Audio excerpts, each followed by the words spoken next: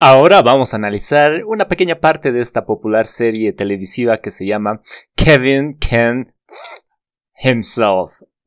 ok, lo vas a escuchar, trata de analizarlo, trata de entenderlo. Si no lo entiendes no hay problema, no te pongas mal. Yo te voy a ayudar paso por paso a entender y a descifrar qué es lo que están diciendo estos nativos en esta serie televisiva. Pon tus cinco sentidos, escucha muy bien. So that's why you think she went to the baby doctor without you? Definitely. But if these quacks get in her head, she might try pinning her issues on my bees. She wouldn't. She would. ¿Qué tal? ¿Cómo te fue? ¿Bien? ¿Mal? ¿Regular? ¿Nada? Bueno, eh, es posible que hayas entendido algunas palabras, pero no el contexto en general, ¿verdad? Ahora lo analizamos conmigo. Vamos a ver la primera frase, a ver qué dice esta persona. So that's why you think she went to the baby doctor without you? So that's why you think she went to the baby doctor without you? So that's why you think she went to the baby doctor without you? So that's why you think she went to the baby doctor without you? Significa, ah, así que por eso crees que ella fue al médico de bebés sin ti. Pronunciación. Empezamos con so, so. Esa es una vocal abierta, larga, ¿verdad? So, so. So, so, so, so, so, so bad. So, Lo que vamos a hacer es cambiar ese au por un sonido más corto, una schwa. So, so, muy corto. So, so. That is lo vamos a contraer por that's. That's. Sí, muy bien. That's. Usamos contracciones todo el tiempo, ¿verdad? Seguimos con la palabra why. Why you. Why you. Aquí no vamos a pronunciar you con una vocal larga, abierta. You, you, no. Lo vamos a cambiar por un sonido más corto que es uh, uh. Un sonido corto que puedes encontrarlo en palabras como book, What book? should, could. La boca está relajada. No hace redondeo cuando haces, como cuando haces con uh, ¿verdad? So, that's why you. So, that's why you. So that's why you That's why you think. Esta acá al final de think no lo vamos a pronunciar, lo vamos a cambiar por una parada de consonante. ¿Sí? Se pronunciaría como think, think. ¿Qué significa parada de consonante? Que vas a frenar el sonido. No lo vas a pronunciar al 100% como think, pero un 20-10% think, think. Y ese aire que se te queda almacenado ahí cuando lo frenas, think, lo expulsas en el siguiente sonido.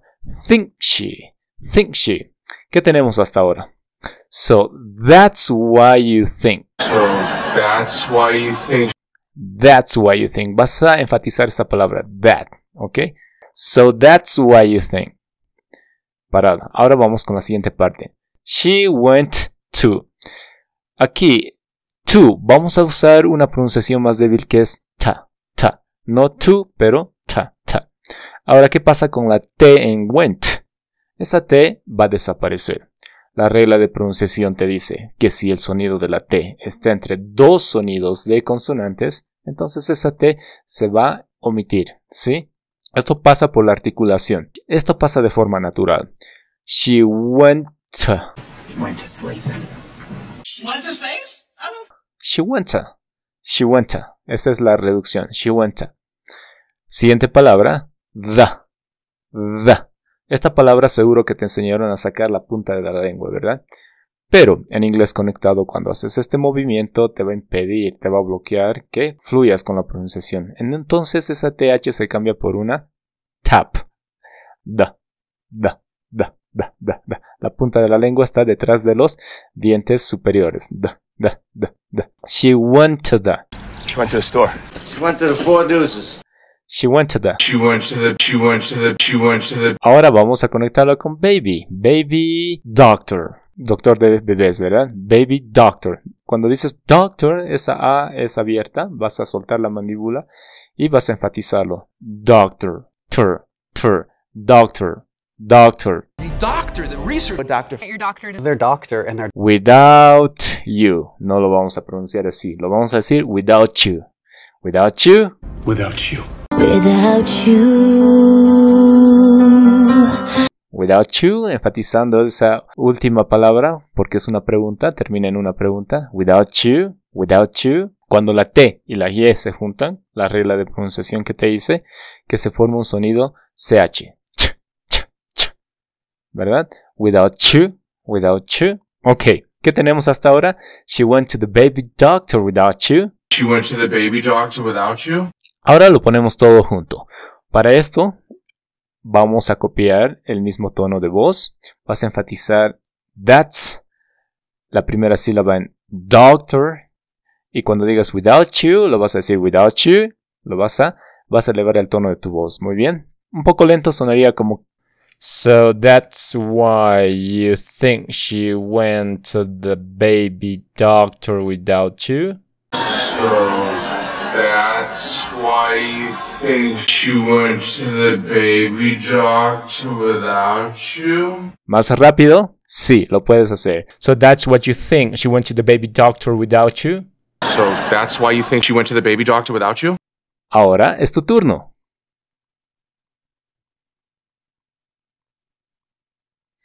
Muy bien. Si no te salió, puedes volverlo a repetir. Repítelo cuantas veces sea necesario. Esto te va a ayudar con tu fluidez en tu pronunciación y te va a ayudar un montón con tu listening. Tus oídos se van a desbloquear ¡puf! y van a escuchar inglés real todo el tiempo. ¿Sí? Es magia. Ahora trata de descifrar la siguiente palabra. Esta es una palabra fácil, pero escúchalo muy bien. Definitely. Definitely. Definitely. Definitely. Definitely. Muchas, muchas personas tienen duda con la pronunciación de esta palabra. No es definitely o definitely, no.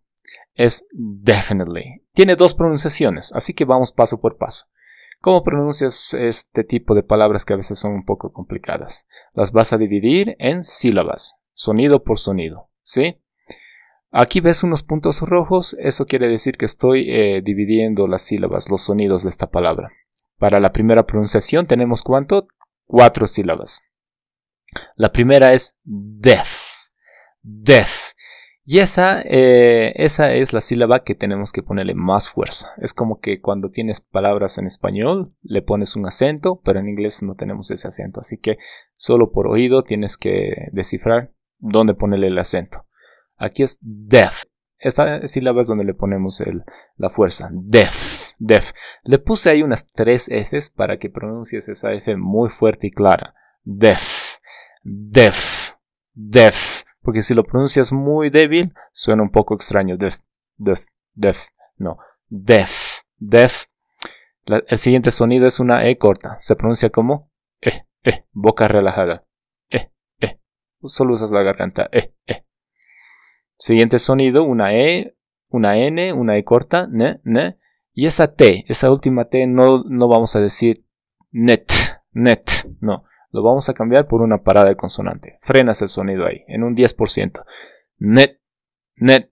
Y expulsas lo que te queda ahí en, en el pecho, la última consonante. Li, li, li.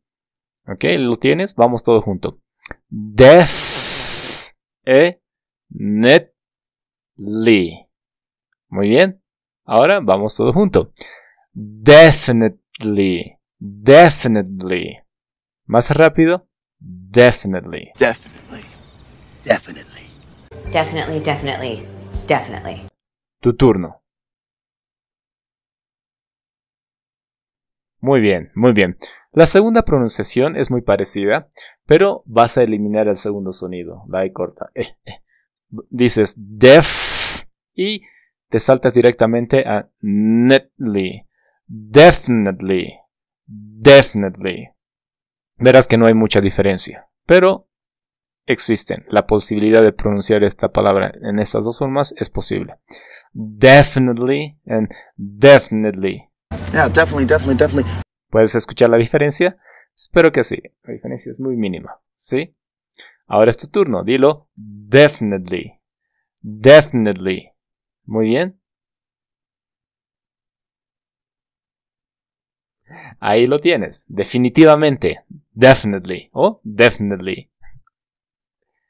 Ahora trata de analizar, trata de descifrar qué es lo que está diciendo esta persona aquí. But if these quacks get in her head, but if these quacks get in her head, but if these quacks get in her head, But if these quacks get in her head, significa, pero si estos charlatanes se meten en su cabeza de ella, o también podrías eh, traducirlo como que si ella se deja influenciar por estos charlatanes, aquí estamos usando un verbo frasal que es get in.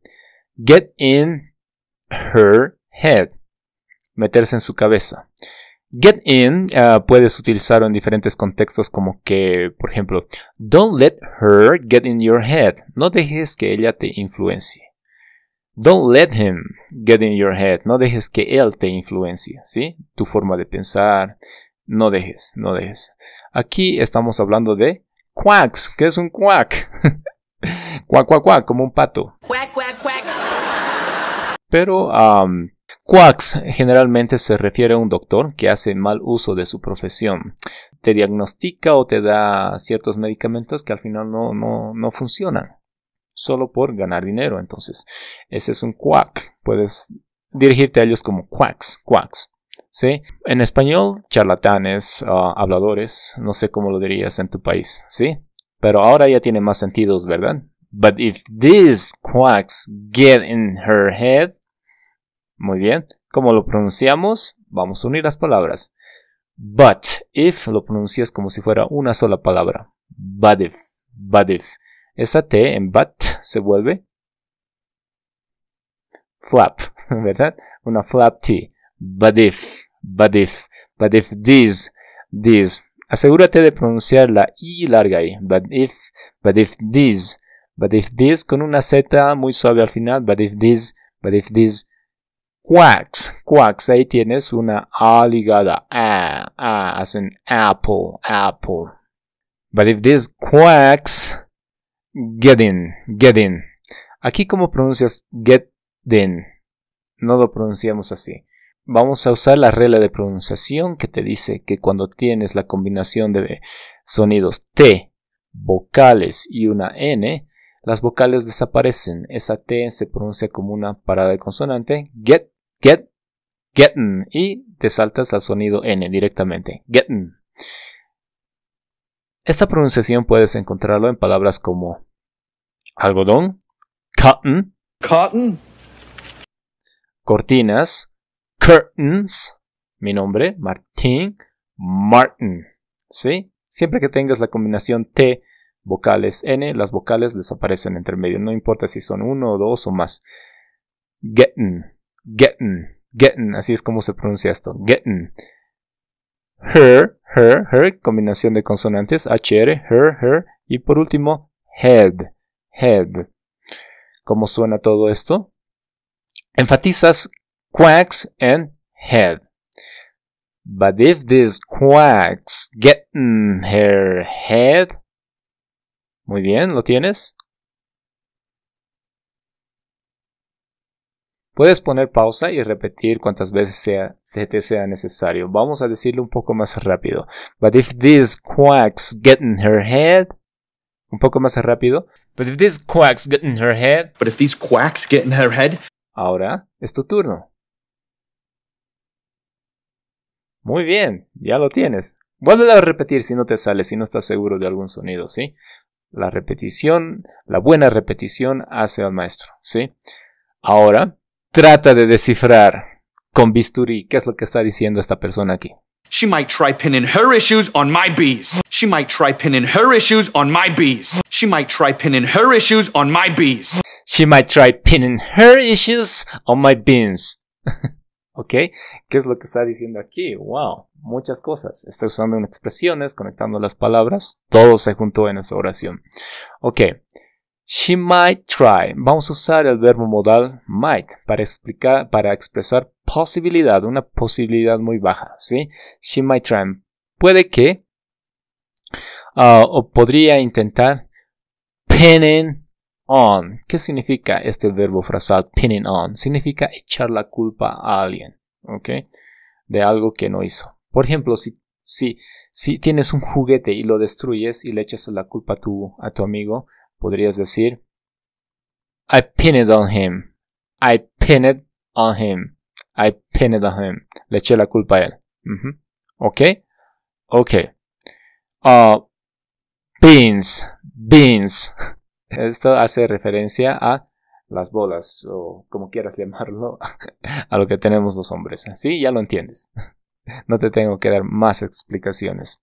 ¿Sí? Esto se, se, traduciría como she might, she might try pinning her issues on my beans. Ella podría intentar echarle la culpa de sus problemas a mis bolas. ya lo tienes, sí. Ok, pronunciación.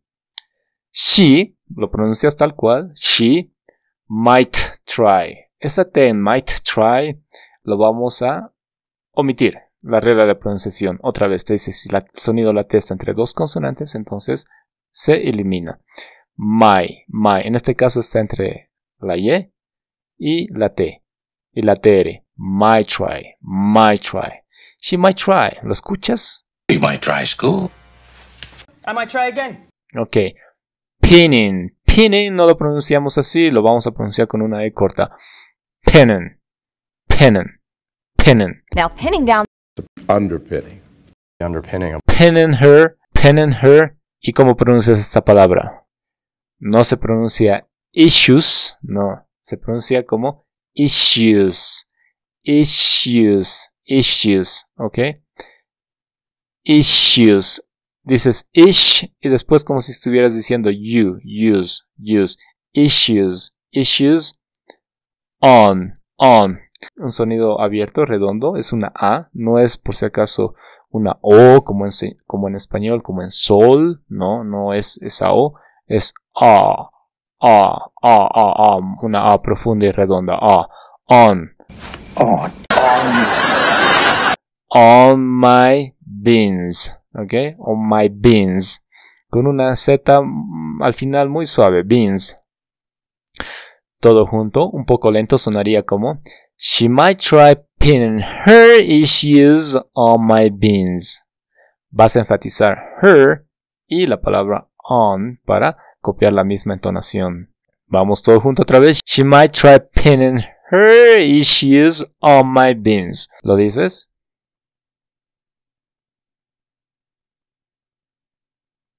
Ahora vamos a acelerar un poquito. She might try pinning her issues on my beans. She might try pinning her issues on my bees. Ahora lo dices tú. Muy bien, espero que te haya salido. Si no, lo vuelves a repetir. Ahora vamos a tratar de entender qué es lo que dice en esta parte final. She wouldn't. She would. She wouldn't. She would. She wouldn't. She would. She wouldn't. She would. ¿Qué significa? No, ella no lo haría. Y, la otra persona dice, sí lo haría. ¿Sí? Ese sonido de admiración, ¿no? De sorpresa. She wouldn't. She wouldn't. Ahí vamos a pronunciar la pronunciación completa. She wouldn't. ¿Cómo pronuncias esto? Con una U corta. U, U. She wouldn't. She wouldn't. Muy bien. Y la otra persona dice she would. She would. she wouldn't. She would. She wouldn't. She would. ¿Lo dices? ¿Tú? Ahora, muy bien. Buen trabajo. Para este siguiente ejercicio, lo que vas a hacer es vas a ver la transcripción y vas a tratar de copiar la misma pronunciación, ¿sí? Vas a escuchar el audio original y, y después vas a tratar de pronunciarlo de la misma manera. Vamos a empezar. So that's why you think she went to the baby doctor without you?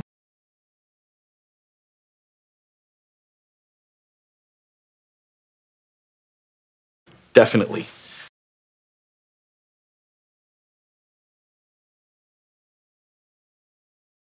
But if these quacks get in her head,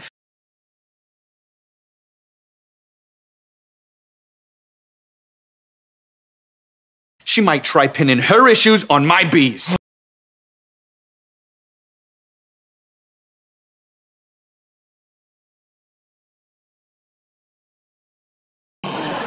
She wouldn't. She would.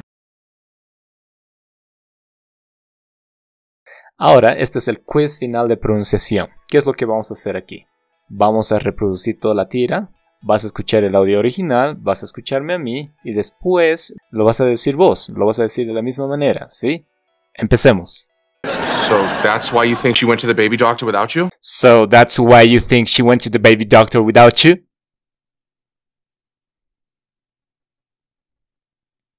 Definitely.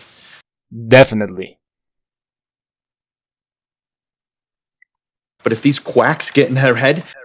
But if these quacks get in her head.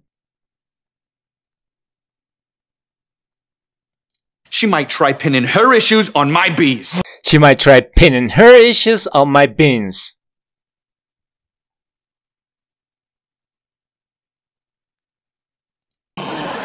She wouldn't. She would. She wouldn't. She would. Muy bien. Espero que lo hayas hecho muy bien. Si necesitas más práctica y repetición, vuelve a repetir este video cuantas veces sea necesario. Verás que en poco tiempo vas a alcanzar un nivel de fluidez muy bueno y un listening espectacular. ¿Sí? Si sentiste que aprendiste algo, puedes eh, dejarme un like, un comentario, seguirme y también puedes volverte miembro de este equipo dándole click en join. También puedes darle clic en el botón super thanks, ¿ok? Esa colaboración me va a ayudar mucho a mejorar la calidad de estos videos.